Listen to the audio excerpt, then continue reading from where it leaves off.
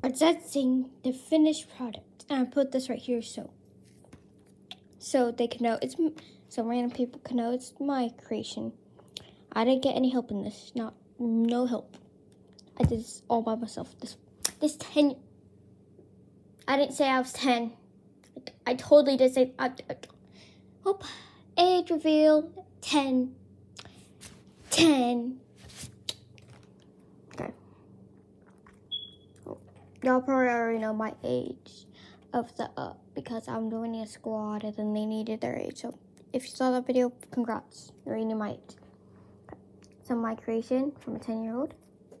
Okay, so, you're going to see the finished product in three, two, one. Here's the finishing product. Me lay it, let me put it somewhere. Now just cut it out. As you can see, I taped it so I protect it. And I feel a paper spot. I didn't tape the head really. So I need to tape this spot. Hold on, let me do it on voice. Ew! I, I got too much in that, that sound. Oh, I woke up my cat. Okay, so you take these these parts and then you wrap it around. Wrap it around.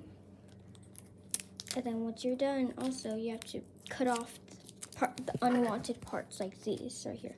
Unwanted tape parts. I'm not, I, I was too lazy to cut fully because, you know, you won't cut it all.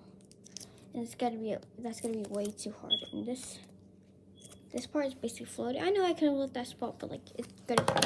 And I'm scared I'm gonna cut this part off, so I left it there.